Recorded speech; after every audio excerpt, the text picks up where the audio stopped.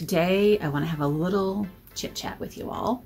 So recently, everyone's been doing the mid-year freakout book tag or whatever it's called. And in one of the questions on that prompt list was, what's your newest fictional crush? Something like that. A new character you're crushing on from this year's reading so far. I talked a little bit about this in my own tag.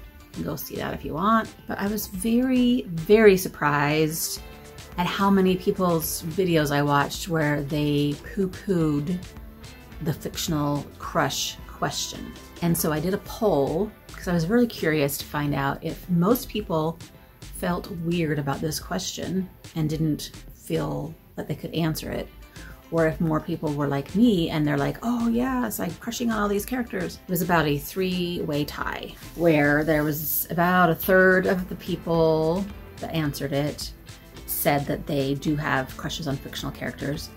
About a third said they weren't sure or maybe or it depends or something like that. And then about a third that said mm, no. Because I've been thinking about this ever since this question was going around in the tag. I'm guessing that number one, people have issue with the word crush. It has connotations that might make people a little squirmy inside. It has a connotation of something that only kids do. So I don't know if we can come up with a different word that would make everyone happy because it is of my opinion that we all crush on our fictional characters, whatever word you want to use there. The second thing I think that's interesting is that this was a topic in a fun thing that we would talk about all the time on book blogging back in the day. And so I don't know, maybe everyone in booktube is different somehow, I don't know. Or maybe it's hard to actually speak the words instead of type the words. Maybe that's it, I don't know. But it seemed like, like, like it was kind of a, a given thing in the book blogging world where we would gush about our favorite fictional characters and who we were falling in love with, so to speak. Falling in love with. Now, I'm not saying that if we have a crush on a fictional character, that's saying we are absolutely like as if we were in love with some real person in the real world, like true and full on romantic feelings for this person. I'm thinking that maybe we should use the word favorite character, your newest favorite character that's just like really truly getting into your heart. Now, I know that all of you huge readers let characters into your heart, do you not? So you're reading along and you love a book and you love the story and you love the characters. Do you let them into your heart? Do you think about them after you read the book? Do you think about them quite a ways down the road after you read the book? Do you want to reread the story sometimes because you love those characters so much? I don't think this is a kid thing. I think this is a story thing. I think this is something that we as readers who completely and totally love to consume stories, I think we all have that that leaning towards letting characters into our hearts. Um, I want to know if I am truly off here. If you, as a reader, can read a story and love it and not let that character into your heart. Let's not call it a crush if that word bothers you, but where you just absolutely fall in love with a character. Some of the characters that I feel like are common crushes, let's say, in, in at least in my in my circles that I that I'm in, are are characters like Gilbert Blythe from Anne of Green Gables, Mr. Darcy from Pride and Prejudice, Mr. Thornton from North and South, and I feel like there's a ton others in classical literature that we all love. Um, there's a lot that are controversial, like Mr. Rochester and Heathcliff. And depending on one's mood, you might be crushing on those characters. In, in more recent books, people might be crushing on the dude from A Court of Thorns and Roses, maybe even the dude from Fourth Wing. I can't remember everybody's names right now. But we're not talking about like total pure-on romances either. We're just talking about any literary fiction books or whatever books where you just think that the person, the main characters or the side characters, I, of, I often really love the side characters. I was looking through a list a minute ago to try and remember some characters that I've loved before. And there's Roar from Through the Evernight. I don't know if anybody's familiar with that side character. He is amazing. Some other characters that I've loved over the years is um, Kvothe from Name of the Wind and Gen from the Thief series by Megan Whalen Turner.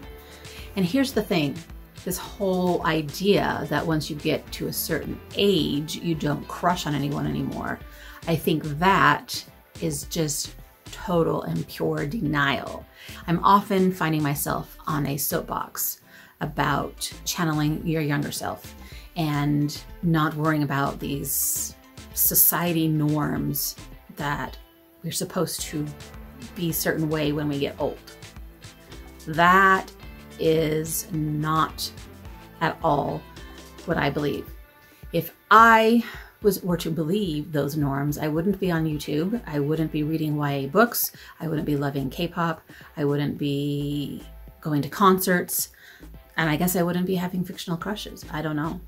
So my whole spiel today is to say it doesn't matter how old we are or what gender we are, what kinds of books we're reading. If you are a reader who becomes immersed in a story and, and absolutely dives into the characters and everything about a story, then you are a reader that does have a crush on a fictional character at times.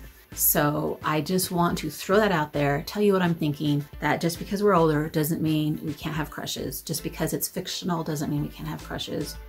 Just because we're a macho dude or whatever doesn't mean we can't have crushes. It's not a thing that's particular to one kind of reader. It's just something that we all do as lovers of books. So I was just so surprised by how many people didn't want to answer that question in the tag. And I want you guys that said that to look back on the books you've read and tell me, maybe if you don't like the word crush, tell me who you fell in love with in any of those books. Because I'm sure you did. Maybe not in a romantically sort of a way, but just somebody who you thought was the coolest character ever. Some a character that got into your heart and that you couldn't stop thinking about. That's who I want you to tell me about. In the replies in this video, I want you to tell me if you feel like you're not a person who crushes on things, still tell me if, if you can answer that question, somebody who got into your heart this year so far. And if you are a person who is okay with the idea of crushing on a character and you are embracing this whole young at heart thing like I'm trying to do, then tell me who you crush on, whether it's a recent book or somebody that's just your ongoing fictional crush, like Gilbert Blythe. There are so many I know. Gilbert Blythe. Laurie from Little Women. He's another one that everyone loves so much. Yeah, and there's more I know I'm forgetting because my mind's going blank and I wanted to prepare for this video a little better, but I also wanted to make it be very spontaneous and so I didn't really look up a whole bunch of names and I'm sure I will think of more. Maybe I will do a different video where I just talk about some of these characters mm, a little more and just dedicate a whole video to my fictional crushes past and present. Those are my thoughts and I would love to discuss this. Let me know in comments what you think. Let me know who your crushes are. If you feel like doing a response video and telling, explaining to me why you feel one way or the other, um, whether you feel like I do or whether you are like, no way to the crushes. I would love to know why. Why do you feel that way? Sometimes I just feel like we need to all loosen up a little bit and just feel the young at heartness that the word crush kind of connotates. Those are my thoughts for the day. Hope you enjoyed this. Until next time, happy reading. Bye.